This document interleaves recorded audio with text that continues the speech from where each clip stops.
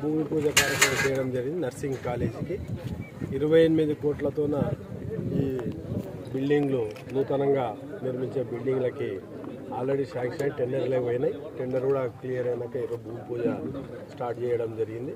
అదేవిధంగా three hundred two fifty bedded hospital కూడా total మీరు చూస్తున్నారు. ఆల్మోస్ట్ ఆల్ సెప్టెంబర్లో ఎప్పుడే ఈ గారిని అందరూ అడిగితే సెప్టెంబర్లో అది ప్రజలకు అందుబాటులో వచ్చే విధంగా ఇస్తాం ఇదే మెడికల్ కాలేజ్ కూడా ఇక్కడనే వస్తుంది ఈ ఏరియానే గద్వాల్లో గతంలో ఎన్నడూ లేని విధంగా ఈరోజు అభివృద్ధికి నాంది పలికింది.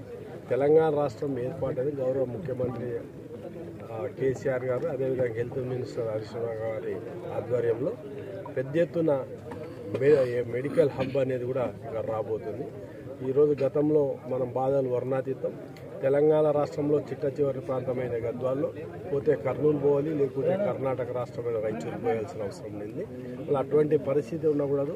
తెలంగాణలో పుట్టిన ప్రతి ఒక్కరికి కూడా ఇక్కడనే వైద్యం అందుబాటులో ఉండాలని ఈరోజు రేడియాలజీ డిపార్ట్మెంట్ అయితేమి అన్ని రంగాల్లో ఈరోజు హెల్త్ పరంగా ఎంత అభివృద్ధి చెందిందో మీ కళ్ళ ముందర కనిపిస్తుంది. హాస్పిటల్లో కానీ ఈరోజు గతంలో ఓపీ డెబ్బై ఎనభై మంది ఉన్న ఓపీ ఈరోజు ఏడు వందల పైన ఓపీ వస్తుందంటే ప్రజలకి సేవ ఏ విధంగా అనిపిస్తుంది అనేది మీరు చూస్తున్నారు. అలా ఈరోజు ఓపీ అభివృద్ధి అయింది.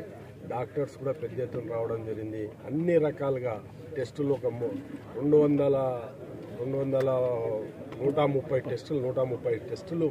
ఈరోజు ఇక్కడ అన్ని రకాలుగా టెస్టులు కూడా బ్లడ్ టెస్టులు కానీ అన్నీ కూడా జరగడం జరుగుతుంది. ఈరోజు మత గత వన్ ఇయర్లోనే రెండు లక్షల మందికి పైన టెస్టులు కూడా చేసిన ఘనత ఒక గద్వాల హాస్పిటల్కి వస్తుంది. అదేవిధంగా రోజు రోజు దినదిన అభివృద్ధి చెందుతుంది. మెడికల్ పరంగా బ్రహ్మాండంగా అభివృద్ధి చెందుతున్న కాన్స్టిట్యున్సీ గద్వాల జిల్లా. గౌరవ ముఖ్యమంత్రి గారికి అదేవిధంగా గౌరవ హరీశ్వరరావుకి ప్రత్యేకంగా ధన్యవాదాలు.